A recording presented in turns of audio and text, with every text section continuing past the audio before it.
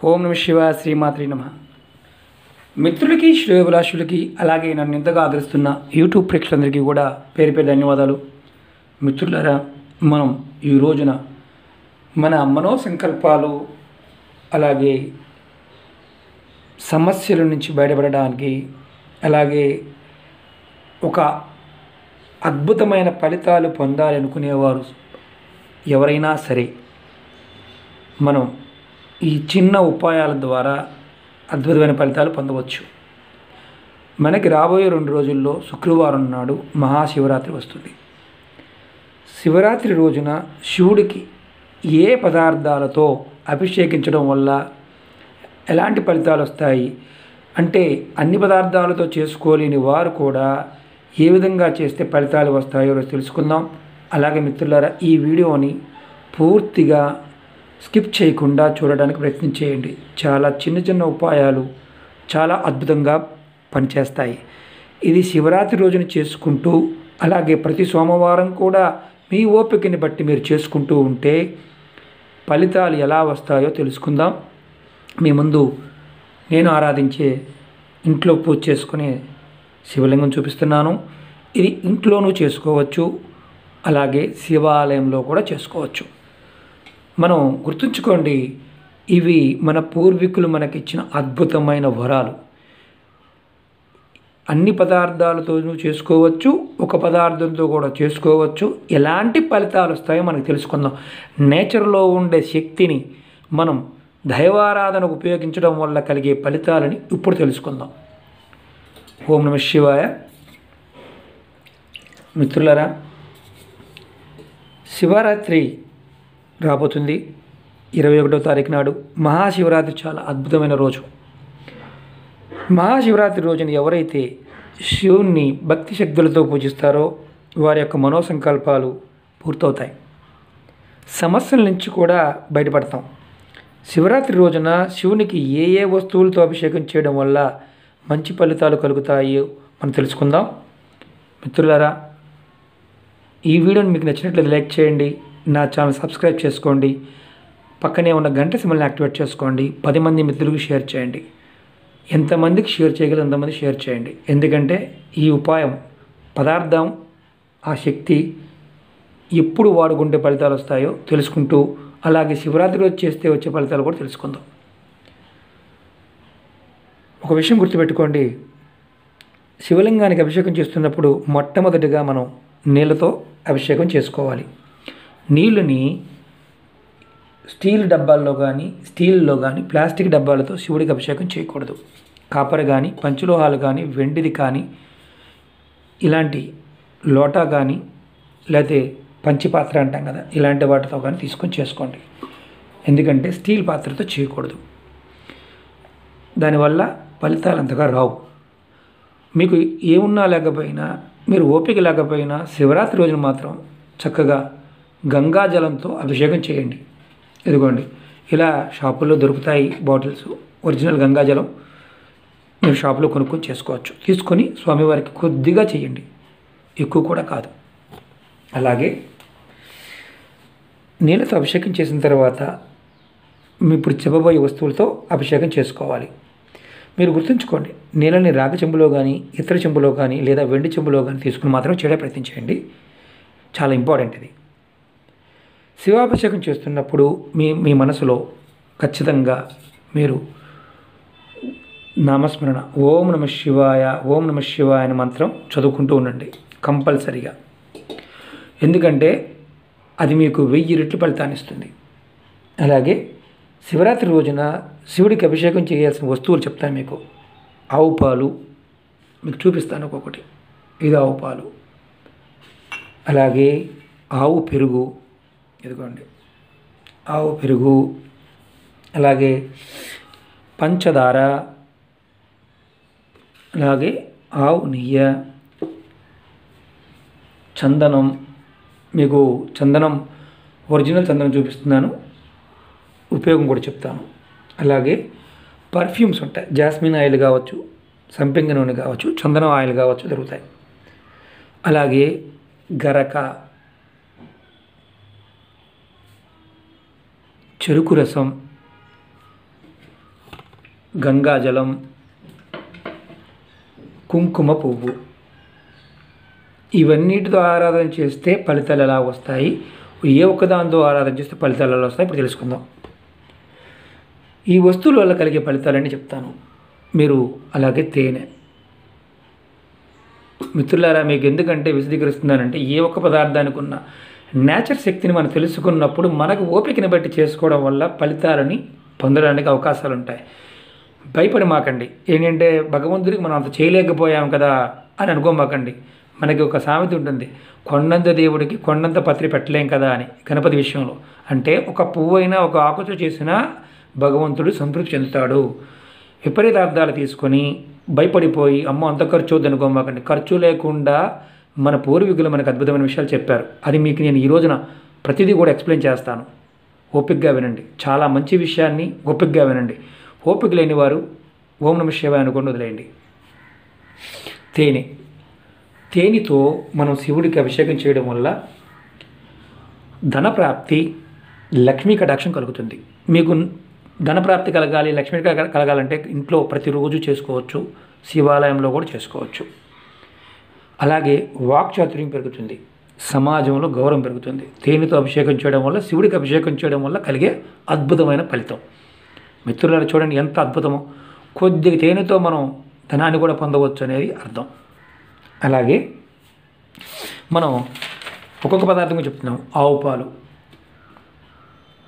స్వామివారికి ఆవు పాలతో అభిషేకం చేస్తే ఎలాంటి ఫలితం ఉంటుంది? ఆవు పాలతో అభిషేకం చేయడం వల్ల సంతానం లేని వారికి సంతాన ప్రాప్తి కలుగుతుంది. అనారోగ్యంగా ఉన్నారనుకోండి వారికి ఆరోగ్యవంతులుగా మారుతారు. యాక్సిడెంట్స్ లాంటివి జరగకుండా ఉంటాయి. మనం అనుకున్న పనులు నెరవేరుతాయి. మన ఆయు పరిమాణం పెరుగుతుంది. మిత్రులారా చూడండి ఎంత అద్భుతమైన ఫలితమో. స్వామివారికి ఆవు పాలతో అభిషేకం చేయటం వల్ల మనం ఎప్పుడూ కూడా ఏమనుకుంటుంటామంటే ఇవన్నీ వేస్ట్ చేస్తున్నారు అంటుంటారు. ఆ శక్తి ఆ రోజున అలా చేయటం వల్ల ఉంటుంది.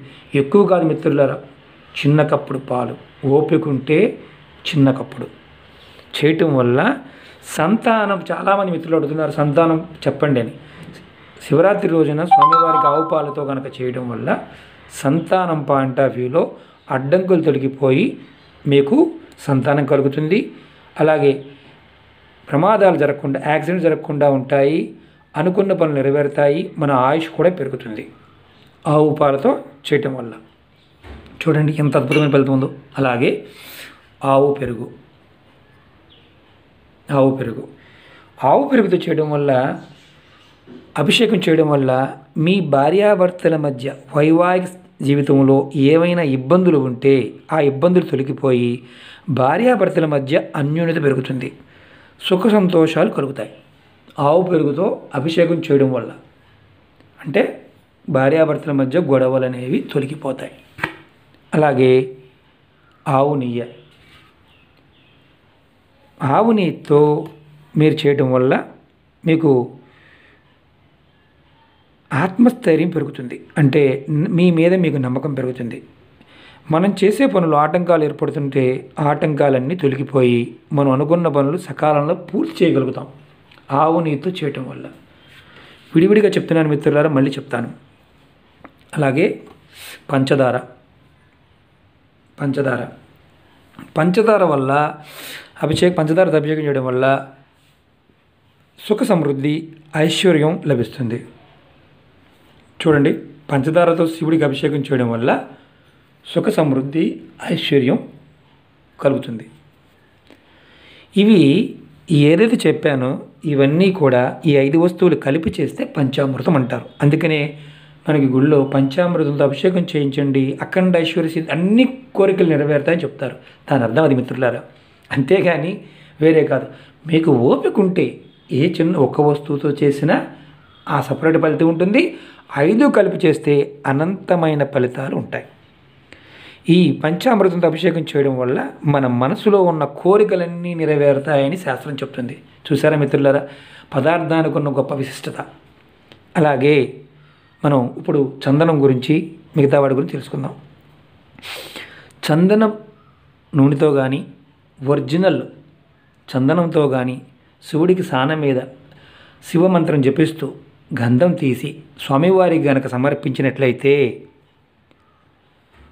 ఎవరైనా సరే ఉద్యోగాల్లో ఉన్నవారు ఇబ్బంది పడుతూ ఉంటే ఆ ఇబ్బందులే తొలగిపోతాయి.